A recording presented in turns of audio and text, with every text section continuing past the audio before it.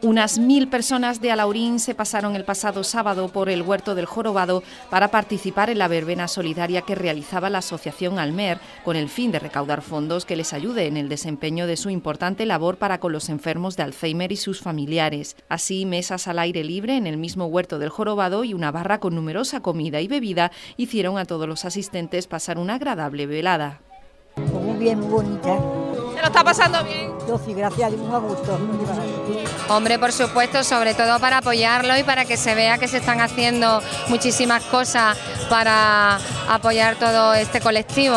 Sí, se debería de hacer mucho más a menudo, porque mueve gente del pueblo y quiera o no quiera. Eh. Pues sí, para eso hemos venido, porque no sabíamos qué íbamos a hacer por ahí aburría y hemos venido aquí. Y aquí se está de maravilla. He venido para colaborar con, con el Alzheimer y lo veo muy bien. Hemos venido aquí, hemos estado tomándonos unas tapas, unas cervecitas y lo hemos pasado muy bien. Muy bien, esto está muy bien, muy bien. Y debe de hacerse más, y se debe de hacer más a menudo. Cuando nos hemos enterado, pues en vez de irnos al Camino Marca, pues hemos venido aquí para para colaborar. Está a tope y la gente muy animada con el flamenquito aquí. Y la barra, imagínate, no se puede ni pedir. Muy bien, muy bien, me alegro muchísimo de estar aquí. Y no solo estaban contentos los asistentes, sino también desde la propia asociación, que se mostraron además muy agradecidos por la buenísima asistencia de vecinos.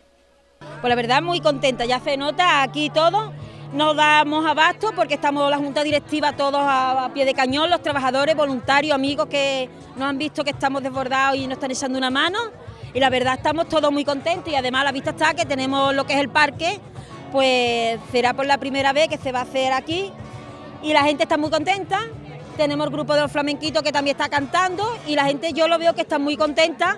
La noche está fresquita, da mucha alegría, la satisfacción que la gente responde todavía con la asociación Almer por la buena causa que es y la verdad que estamos no tenemos palabras de agradecimiento a todo el mundo. Una verbena que no hubiera sido posible sin el apoyo del Ayuntamiento de Alaurín el Grande, que ha ayudado en todo lo que esta asociación ha requerido.